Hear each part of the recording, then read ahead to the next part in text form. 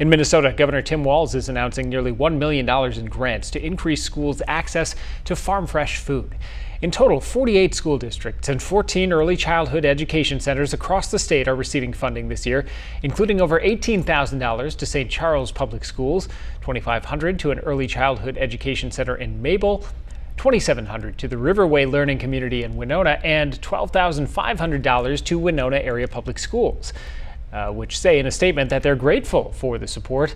adding in part, quote, if we can purchase products from the farms right in our backyard and use local processors and vendors, it is better for everyone, end quote.